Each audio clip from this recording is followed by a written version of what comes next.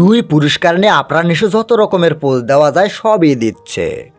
কখনো দুই হাত উঁচিয়ে ধরে পোজ দিয়ে ছবি তুলছে কিংবা কখনো পুরস্কার থেকে দূরে গিয়ে সুদূর দৃষ্টিতে পুরস্কারের দিকে তাকিয়ে পোজ দিচ্ছে।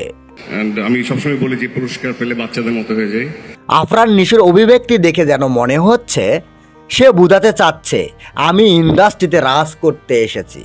একজন হুমায়ুন ফরিদ থেকে আমি সবসময় ডেডিকেট করছি আমাকে ছোটভাবে নিও না। ভালোবাসা ভাব দেখার মাধ্যমে প্রাথমিকভাবে হলেও প্রকৃত ভালোবাসা জন্মে সার্বদিক বিবেচনা করে।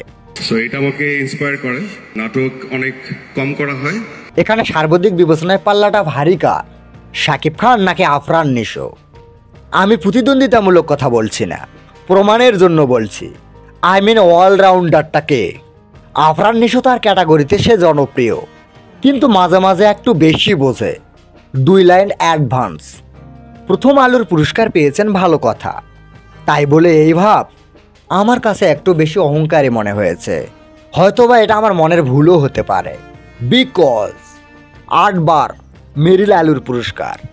তিনি কিন্তু পুরস্কার রেখে বিভিন্ন অ্যাঙ্গেল থেকে পিক তোলেননি।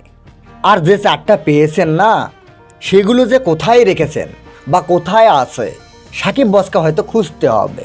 মেগা স্টাররা এমনই ব্যস্ত হয়। আর পিক নিয়ে তারা ভাবেই না। জনগণই ভাবে তাকে কোন পিকে মানায়। ক্যামেরাটা সবসময় জনগণের হাতেই থাকে। তার ক্যামেরাম্যান তো আলাদা ব্যাপার। কিন্তু বিভিন্ন অ্যাঙ্গেল থেকে পিক দেখতেছি আপনি নিজেই তুলতেছেন। যাই হোক, আমি কার সঙ্গে কার তুলনা দেই, কোথায় শেখ সাদি আর কোথায় বকরিল্লা দিই। মেগাস্টাররা সবসময় ধরাছোঁয়ার বাইরেই থাকেন।